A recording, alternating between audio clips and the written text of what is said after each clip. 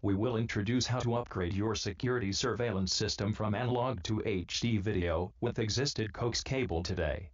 Reuse coax cable can save labor cost and avoid the business downtime. First of all, we need a new HD hybrid recorder which can accept both IP and analog video input. The IP camera will return to the recorder by RJ45 port. Those are two HD cameras. One is the 2 megapixel AHD camera with BNC, another is the 2 megapixel IP camera. You can see the connectors are different. Now let's connect the 2 megapixel analog camera to the hybrid recorder with coaxial cable.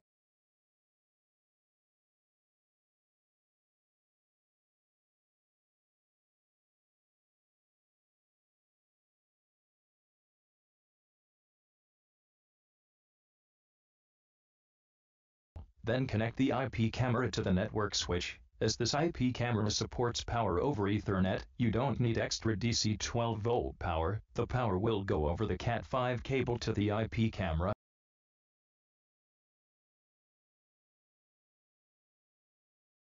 We also need to link the recorder to the network switch, then the IP camera can return to the recorder.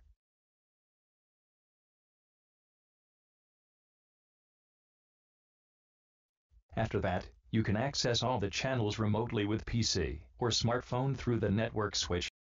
The first channel is 2 megapixel analog camera now. Let's choose the hybrid mode for the recorder in order to connect the IP camera to the recorder. Most of the recorders have three mode including pure IP, pure analog and hybrid. Only with the hybrid mode, the recorder can accept both analog and IP video input.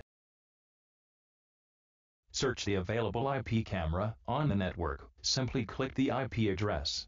The IP camera will be added to this recorder.